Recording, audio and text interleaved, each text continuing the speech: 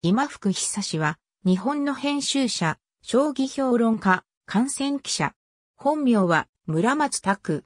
長らく講談社に勤務し、同社が発行していた男性向け月刊誌、月刊現代の編集長を務める。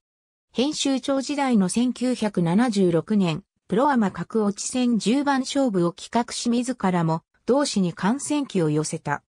1977年、積則からとともに日本アマチュア将棋連盟の設立に参画、理事となった。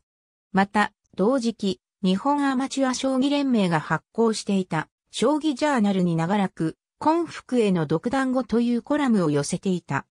以降は編集長時代の経験を活かし、観戦記者として近代将棋士や当時自らが参画していた日本アマチュア将棋連盟が発行していた将棋ジャーナル市場においてたびたび観戦記を書いたりするなどしていた。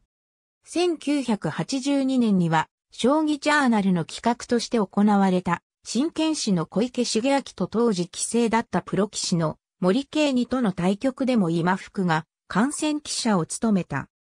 この対局は非公式戦でありながら現在残されている生前の小池茂明の寄付の中では特に有名なものの一つであるが、当時の感染期にて終盤、敗勢だった小池が指した五八方、年力の風知と書いているほか、公式、非公式を問わず多くの感染期を記した。2006年、62歳で逝去。